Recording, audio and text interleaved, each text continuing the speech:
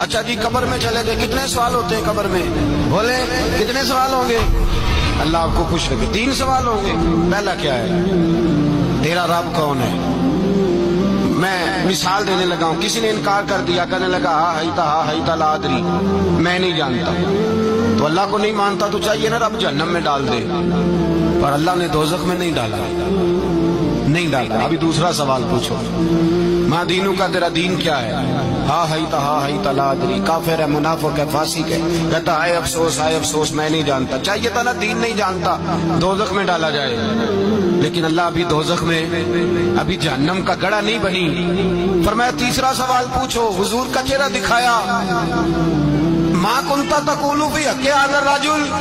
इनके बारे में क्या कहता था? उसने कहा, मैं नहीं जानता, अल्लाह ने फरमाया, तू मेरे नबी को नहीं जानता, पकड़ो इसको जहन्नम में दाखिल कर दो। ना अपनी जात के इनकार पर दो तक में भेजा, ना दीन के इनकार पर। कहा, मेरे मुस्तफ़ा को नहीं मानता? डालो इसको जहन्नम के अंदर। तमाम कुतुब हदीस तमाम बुखारी से लेकर तबरानी तक, तमाम कुतुब हदीस में इसी रंग में रवायत मिलेगी। कब्र में बंदा गया, मोमिन है, मुसलमान है, नमाजी है, दस हज किए, पंद्रह उम्र किए, जक़ातें सदकात, खैरात, इबादात, नफल, नमाज़, दाढ़ी, हज, उम्र, बड़ा कुछ। हाँ भाई, मन रब्बू का, उसने कहा, रब्बी अल्लाह अल्लाह मेरा, उसको जन्नत कोई नहीं मिली।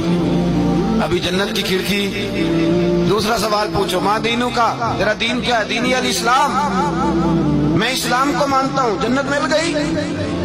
पूरे के पूरे दीन को मान रहा है, नमाज़ को मान रहा है, हज को मान रहा है, जक़ात को मान रहा है, इबादत को मान रहा है, हर चीज़ को मान रहा है, लेकिन जन्नत मिली।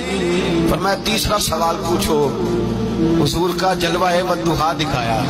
कुछ लोग गलत तर्जमा करते हैं, यहाँ भी कहते हैं, पूछा जाएगा, ये कौन है? ये लफ्ज नहीं है, माकुन तकुल आदर राजुल।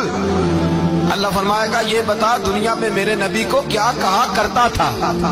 इनके बारे में तो दुनिया में क्या कहा क्या कहा करता था? तो जो कहा करता था, वो कह के उसी वक्त पुकार उठेगा कि मैं कहा करता था, या नबी या नबी पुकारा कर।